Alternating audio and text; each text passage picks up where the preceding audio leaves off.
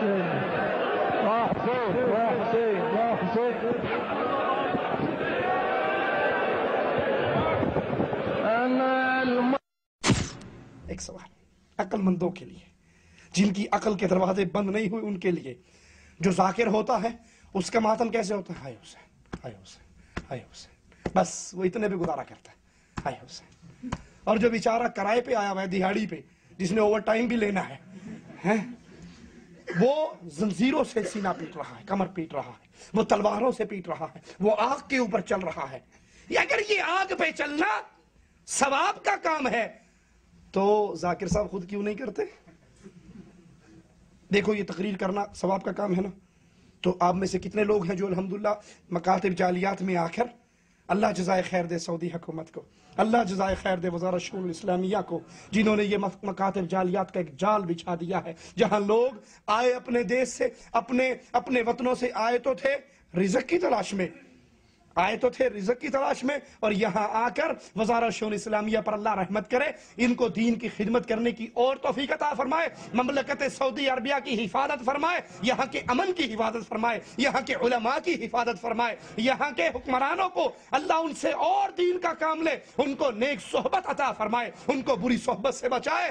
ان کی اس چھوٹی سی کاوش کی وجہ سے کتنے لوگ ہیں واللہ جو یہاں سے توحید لے کر جاتے ہیں، شرک سے توبہ کر کے جاتے ہیں، خرافات سے توبہ کر کے جاتے ہیں۔ جاتے ہیں۔ دنیا سوارنے آئے تھے، ان کی محنتوں سے، اللہ کی رحمت سے دین سوار کر جاتے ہیں۔ تو آپ بھی چاہو گے اپنے بیٹوں کو قرآن کا عالم بناؤ، حافظ بناؤ، ان کو دین پڑھاؤ۔ اور اکثر لوگوں نے اپنے بچے اللہ نے جزائے خیر داخل کرا دیے دینی اداروں کے اندر۔ آپ چاہتے ہو، کیونکہ آپ اس کا ثواب جانتے ہو، ہم سوال کرتے ہیں، اے شیعہ ذاکرو، اے عوام کے سامنے، عوام کے سامنے اس ماتم کا اجر و ثواب پیش کرنے والو، یہ اجر و ثواب ان کے لیے ہے، آپ کے لیے نہیں ہے۔ یہ عمل آپ کیوں نہیں کرتے؟ صرف غریب غرابا یا جو کرائے پہ آئے ہیں، وہی ماتم کرتے ہوئے نظر آئیں گے؟ بڑے لوگ ماتم کرتے ہوئے نہیں آئیں گے۔ تیرواں عمل تیرواں سوال یاد کیجیے، تمام تر عبادت کا حقدار صرف ایک اللہ تعالی ہے۔ قرآن حکیم مالی کہتا ہے، بل اللہ فعبد عبادت صرف ایک اللہ عز و جل کی کیجیے۔ اب سوال پیدا ہوتا ہے، بندہ صرف اللہ کی عبادت کرتا ہے، لیکن شیعہ اپنے بچوں کا نام عبد العلی عبد الحسن عبد الحسین عبد الزہرا عبد الامام کیوں رکھتے ہیں؟ اگر یہ نام رکھنا جائز ہوتے تو آئمہ معصومین ابو بکر رکھ رہے ہیں، عمر رکھ رہے ہیں، عثمان رکھ رہے ہیں۔ انہوں نے عبد العلی کیوں نہیں رکھا؟ انہوں نے عبد الرسول رسول کیوں نہیں رکھا؟ عبد الزہرا اور عبد الامام کیوں نہیں رکھا؟ بادشیہ جان چھڑانے کے لیے کہتے ہیں عبد الحسین سے مراد ہمارا حسین کا خادم ہے۔ ارے حسین تو اللہ کے پاس چلے گئے، اللہ کی جنتوں میں پہنچ گئے۔ مرنے کے بعد خدمت کیسی؟ مرنے کے بعد خادم کیسا؟ خادم تو وہ ہوتا ہے جو زندگی کے اندر اس کی خدمت کرتا ہے، اس کو چائے پانی پیش کرتا ہے، اس کو وضو کا پانی لے کر آتا ہے، اس کی جوتی اٹھا کر رکھتا ہے، مسواک دیتا ہے۔ یہ مرنے کے بعد کیسے خدمت؟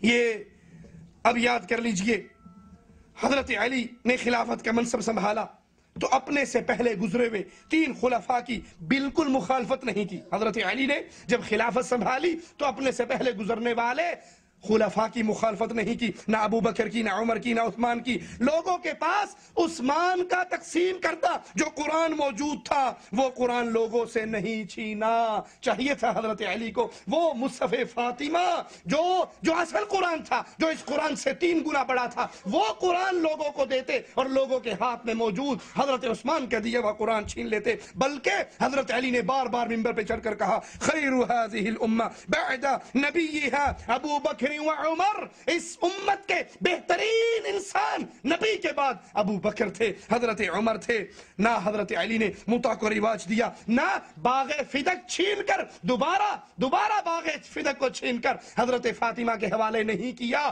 بیت المال سے نہیں لیا، نہ ہی آزان میں حی علی خیر العمل کے جملوں کا اضافہ کیا، الصلاة خیر من النوم کو نہیں کاٹا۔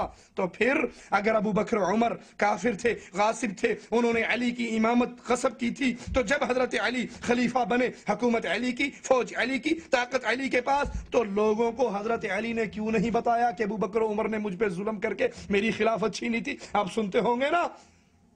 علی ولی اللہ، وسیع رسول اللہ خلیفہ بلا بلا فصل۔ بغیر فاصلے کے اصل حکمران، اصل ہاں اصل اصل یہ آدمی تھا جو اس کا حقدار تھا۔ تو حضرت علی نے ایک مرتبہ اپنی حکومت کے دوران نہیں کہا کہ ابو بکر ظالم تھا، عمر ظالم تھا، عثمان ظالم تھا، میری خلافت پر ناجائز قبضہ کیا تھا، بلکہ انہوں نے اس کے الٹ کیا، ابو بکر کی تعریف کی، عمر کی تعریف کی کہ یہ اللہ کے نبی کے بعد سب سے زیادہ افضل ہیں۔ تو میں سوال کرتا ہوں عقل منشیوں سے جو حق کی تلاش کرنا چاہتے ہیں کہ ہمیں وہ کام کرنا چاہیے جو علی نے کیا، حضرت علی نے ان کی تعریف کی، یا ہمیں وہ کام کرنا کرنا چاہیے جو تمہارے مولوی کر رہے ہیں، تمہارے ذاکر کر رہے ہیں۔ معاویہ رضی اللہ عنہ ورضا شیعہ قائد کے مطابق کافر تھے، نعوذ باللہ۔ لیکن ہم دیکھتے ہیں اسی معاویہ کے لیے حضرت حسن بن علی بن ابی طالب خلیفہ خلافت سے دستبردار ہوتے ہیں اور خلافت معاویہ کو دے دیتے ہیں۔ سوال پیدا ہوتا ہے، کیا کافر کے حق میں دستبردار ہونا جائز ہے؟ کافر کی بیعت کرنا جائز ہے؟ اس کو باپ کے ممبر پر بٹھانا جائز ہے؟ اگر نہیں، تو امام معصوم نے یہ کام کیوں کیا؟ یا پھر تسلیم کرو کہ معاویہ مومن تھے، عادل تھے حسن حسین کے خلیفہ تھے اور ان کی تکفیر کرنے سے بعد آ جاؤ۔ ذرا غور کیجیے رسول اللہ صلی اللہ علیہ وسلم نے کیا کربلا کی مٹی پر سجدہ کیا جس پر شیعہ سجدہ کرتے ہیں؟ اگر شیعہ ذاکر کہیں کہ ہاں اللہ کے نبی نے کربلا کی مٹی پہ سجدہ کیا تو اللہ کی قسم یہ جھوٹ ہے، وہ کبھی اس کا ثبوت نہیں دے سکتے۔ اگر ان کے پاس ثبوت ہے، ہاتھ برہانکم ان کنتم صادقین۔ اور اگر وہ مانے کہ نبی نے کربلا کی مٹی کی پر سجدہ نہیں کیا اور یہ حق اور سچ ہے تو پھر سوال یہ ہوتا ہے کہ یا رسول اللہ صلی اللہ علیہ وسلم سے زیادہ ہدایت یافتہ تم ہو؟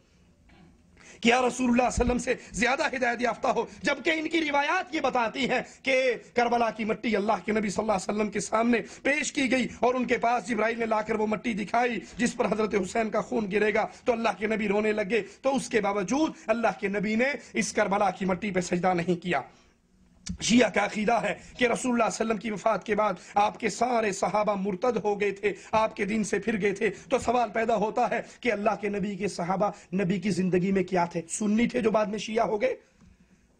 شیعہ اتنا شری ہوئے تو پہلے کیا سنی تھے؟ پہلے کیا تھے جو بعد میں منکر ہو گئے؟ اور پھر یہاں پر ایک سوال پیدا ہوتا ہے کہ اگر واقعی نبی کے صحابہ منکر ہو گئے تھے، مرتد ہو گئے تھے، جیسے کہ ان کی کتابوں کے اندر موجود ہے، ارتد الناس بعد نبی اللہ ثلاثہ، تین کے علاوہ سارے کے سارے مرتد ہو گئے، اور ان تین میں سلمان بچا، مقداد بچا، ابو ذر بچا، علی کا نام نہیں ہے، حسن کا نام نہیں ہے، حسین کا نام نہیں ہے، فاطمہ کا نام نہیں ہے۔ تو اگر یہ سارے مرتد ہو گئے تھے، تو پھر انہوں نے مسلمہ کذاب سے جنگ کیوں لڑی؟ انہوں نے منکرین زکاة سے جنگ کیوں لڑی؟ یہ سوال ہے اللہ کے لیے۔ ان کو اپنے ذہنوں میں بٹھائیے اور عام کیجیے حق کی تلاش کرنے والوں تک پہنچائیے۔ ایک اور سوال، حسن علی کے بیٹے فاطمہ کے لخت جگر اہل بیت میں سے، چادر والوں میں سے ہیں۔ حسین کی طرح ان کی بھی شان ہے، لیکن حسین سے، بلکہ حسین سے عمر میں بڑے بھی ہیں۔ حسن رضی اللہ عنہ مرضا، ماں ایک ہے، باپ ایک ہے، لیکن حسن کی اولاد کے اندر امامت نہیں چلی۔ اولاد میں ساری امامت چلی تو حضرت حسین کی اولاد میں سے آئمہ ہوئے تو حضرت حسن درجے میں حسین سے زیادہ بڑے تھے۔ ان کی اولاد میں سے لیے، ان کی اولاد میں سے امامت کیوں نہیں چلی؟ اللہ کے نبی جب بیمار ہوئے، نماز پڑھانے کے قابل نہ رہے، علی موجود ہیں۔